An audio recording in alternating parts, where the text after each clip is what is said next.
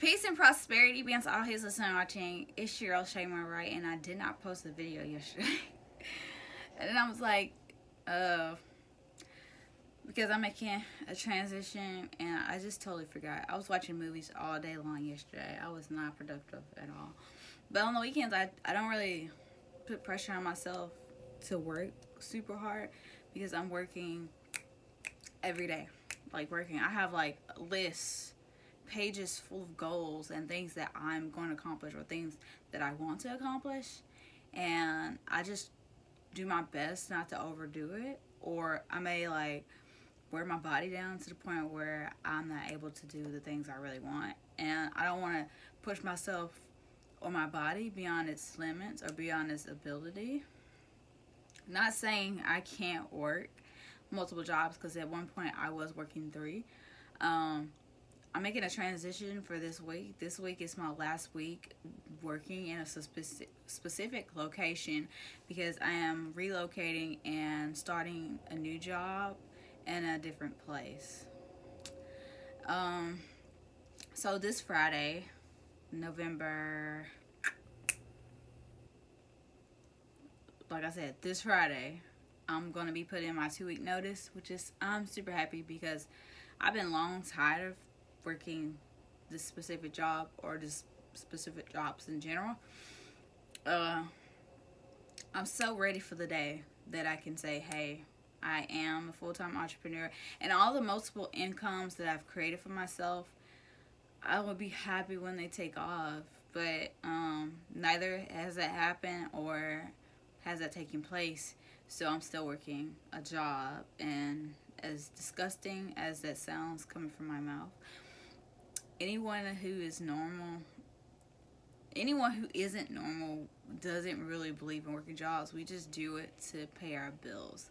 But ultimately, you gotta be sick in the head, like my father said, you gotta be sick in the head if you think it's okay to work jobs. And it's just, it's just you're building somebody else's dream. Like, I mean, it's a, everybody, I'm gonna say everybody because it's true everybody at one point in their lives have a dream or have a vision for themselves or have something that they want to do or have an idea that they think they might be good at. But the difference between the people who go out and do it and those who don't is some people really have an issue with facing confrontation or things in their lives. Um, really like the path of least resistance, where there's like, like it's like they in they're in love with the thing in which they don't love. They love it, but they don't love it. it's weird. It's like they don't like the condition that they're in, but they're they're so used to doing it and so used to being a part of it and and so used to this behavior that subconsciously they kind of like it and it's weird.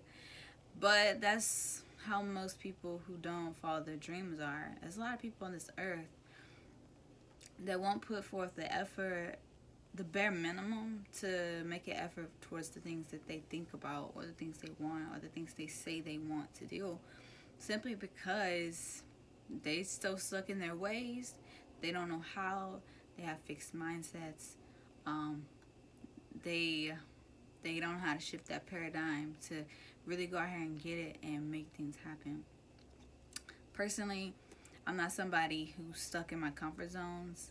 At one point, I was, well, I won't say I was even stuck in my comfort zone at one point. I just think it takes me a little longer for me to get to a certain place where I'm like, okay, I'll do this. Some things really do take me a longer time, where other things that are really difficult are really easy for me.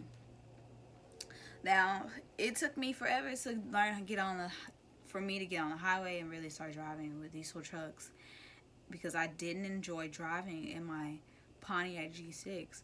But eventually, maybe three years ago, three years ago, eventually, I had the courage and I decided to get up and drive to a city and like just really try it out and figure things out on my own thank God that I had the courage and had the faith to drive um, on the highway because I'm telling you, I was quoting scriptures like it was nothing.